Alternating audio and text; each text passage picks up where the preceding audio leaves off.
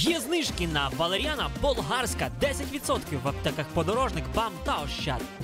Чергова новина, яка обурила і розділила суспільство. Телеграм бути чи не бути? Питання блокування телеграму міцно тримається у повітрі.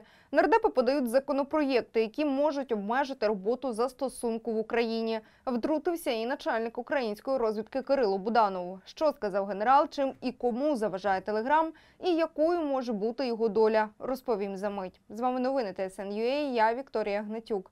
Підписуйтесь на наш канал, і тисніть вподобайки, а ми переходимо до новин. Чутки про те, що в Україні можуть заблокувати Телеграм, ходять вже кілька місяців. Такі новини, звісно, наробили галасу, адже Телеграм наразі заміняє людям новинні ресурси та телебачення. Там найшвидше повідомляють про те, куди летять російські ракети, про наслідки та й загалом коротко про всі події в Україні та світі. Із ініціативою заборонити Телеграм спочатку виступив комітет з питань свободи слова. Тоді ж і скликали засідання, аби вирішити долю застосунку. Голова цього комітету Ярослав Юрчишин наголосив, що хоче почути про болючі аспекти, пов'язані із роботою журналістів в умовах війни та етичні виклики, що ставить такий надзвичайний стан. Під час обговорень голова правління громадської організації Інтерньюз Україна Костянтин Квурт, судово-юридична газета, назвав платформу недружньою. Важливо переймати європейські практики, щоб нас потім не цькували за перешкоджання свободи слова. Давайте активно просувати європейські практики боротьби з нездружніми технологічними платформами. І тут є доля правди, адже Телеграм належить підприємцю росіянину Павлу Дурову, хоча він і не живе тривалий час в країні-агресорці. Водночас керівник центру протидії дезінформації при РНБО Андрій Коваленко наголосив, що заборонити чи заблокувати Телеграм в Україні неможливо, і наразі це питання не стоїть дуже гостро. Але тоді до консенсусу так і не дійшли. Одні за блокування телеграму, інші проти. Втім, 21 березня з'явилась нова ініціатива. Тепер від нардепа Європейської солідарності Миколи Княжицького. Він почав збирати підписи на підтримку законопроєкту про запровадження державного регулювання телеграму в Україні. Про це він повідомив на своїй Фейсбук-сторінці та підтвердив у коментарі детектор медіа.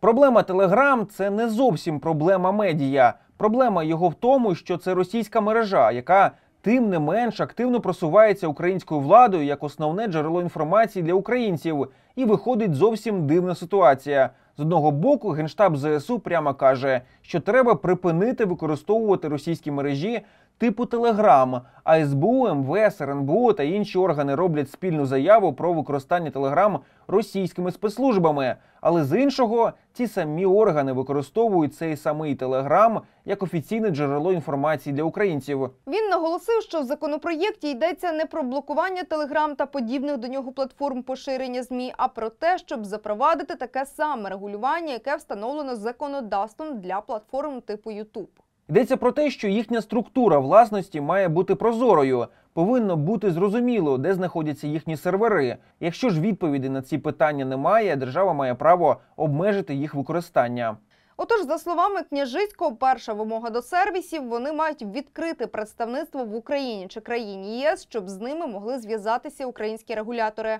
Друга зобов'язати сервіси відповідати на запити української нацради, як це наразі робить YouTube. Третя сервіси та платформи повинні самостійно визначити, як чинити із законодавчо забороненим контентом, поширення порнографії, продажем наркотиків, глорифікацією фашизму тощо. Якщо керівництво телеграму не йтиме на діалог держорганам та банкам України, які працюють із фінансовою інформацією громадян, буде заборонено використовувати телеграм на своїх пристроях. Водночас народна депутатка України, заступниця голови парламентського комітету з питань гуманітарної та інформаційної політики Євгенія Кравчук заявила, що Україні навряд вдасться приструнити X, TikTok і Telegram. Дезінформація дуже часто у соцмережах координується, і вона доволі масштабна. І розраховувати, що Україна якимось чином приструнить X, чи приструнить TikTok, чи Telegram, мені здається, це було б дуже наївно. І очевидно, це можна робити тільки разом із країнами, рекламним ринком яких ці платформи дорожать. Але є нюанс. В мережі випливла інформація, що нардеп Княжицький, який так виступає проти телеграму, дружить із ФСБшником Сівковичем. За даними трухи, член фракції Порошенка Княжицький продовжує підтримувати тісні зв'язки із держрадником та ФСБшником Володимиром Сівковичем, який у 2014 році втік до РФ, де працює на російські спецслужби. Княжицький і Сівкович продовжили спілкуватися навіть після анексії Криму Росією, Іловайського котла та всіх звірств РФ в Україні. Нардеп у 2017 році зустрічався разом зі зрадником на курорті в Туреччині, а згодом, як мінімум, у 2018-2019 роках в Ізраїлі та Австрії. Ексклюзивні фото з посиланням на власні джерела показала труха. Більше того, вони нібито ще й куми. Княжицький за часів Януковича працював помічником Сівковича. Разом навіть заснували громадську організацію Інститут суспільства.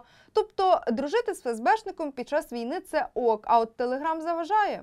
Водночас телеграмом і дійсно гуляє багато різної інформації. Ним точно так само користуються росіяни, а люди, коли навмисне, а коли ні, зливають результати прильотів після атак, чим допомагають коригувати ворожий вогонь. А скільки крутів зловили спецпризначенці, котрі саме через телеграм зливали інформацію про переміщення техніки та розміщення військ. Але є й плюси. Наприклад, керівник української розвідки Кирило Буданов 27 березня заявив, що Телеграм таки становить проблему для національної безпеки України, але водночас служить засобом поширення потрібної інформації на окупованих Росією українських територіях. У нас будь-яка людина може зробити канал у Телеграмі, почати на ньому писати все, що їй заманеться, а коли щось починають робити, прикриватися тим, що це свобода ЗМІ. Та це не свобода ЗМІ, це трішки інакше називається. Телеграм багато в чому завдає руйнівного ефекту тут усередині, але так само завдяки йому можна щось доносити до людей на окупованих територіях. Це те, що більш-менш працює. Нині є шанс того, що, наприклад, певним категоріям заборонять користуватися телеграмом. Це стосується представників державних органів та місцевої влади.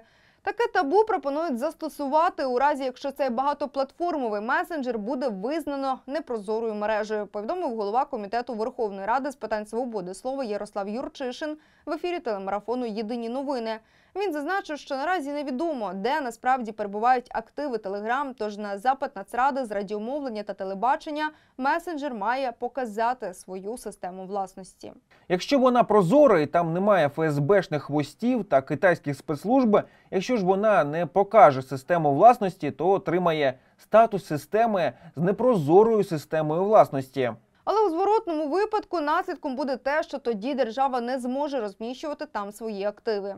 Тобто там не може бути акаунтів державних органів, представників органів самоврядування чи національних представників влади. Водночас, 28 березня, голова комітету Держдуми Росії з молодіжної політики Артем Матєлєв заявив, що Телеграм співпрацює з російськими силовиками. Мессенджер ведет себя в рамках законодательства. Администрация и лично Павел Дуров всегда очень быстро реагируют на происшествия, сотрудничают с правоохранительными органами, в том числе блокируют запрещенный контент.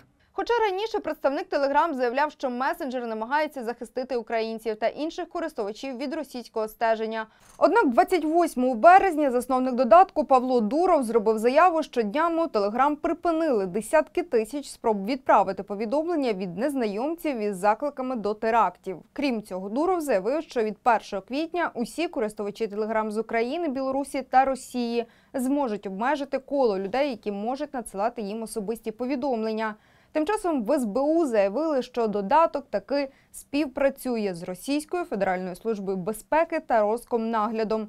Зокрема, він виконує прохання росіян щодо блокування деяких каналів. Представник департаменту контррозвідувального захисту інтересів держави у сфері інформаційної безпеки СБУ Олександр Мельниченко зазначив, що служба безпеки відстежує, де знаходяться сервери Телеграм, і є ймовірність, що вони на території Росії. А власник та розробники месенджера є громадянами РФ. Але в будь-якому випадку громадяни будуть мати вибір користуватися застосунком чи ні, якщо у державі заявлять, що Телеграм таки щось приховує. Ярослав Юрчишин зазначив, що мова про повне блокування йти не буде. Тому для користувачів соцмережі, навіть якщо після прийняття закону Telegram буде визнано непрозорою мережею, нічого не зміниться, крім того, що там не буде, умовно кажучи, акаунта ГУР. Що цікаво, центральне розвідувальне управління США все частіше почало застосовувати у своїй роботі осінь, тобто розвідку з відкритих джерел. Однак, попри це, уряд категорично забороняє своїм аналітикам користуватися месенджером Telegram. Тож у кіберполіції радять думати перед тим, як пересилати фото та відео з наслідками російських обстрілів, адже є ризик того, що додаток контролюють російські спецслужби і просто-напросто інформацію можуть перехопити. Але є ще одне але і без того шалений потік пропаганди може помножитися.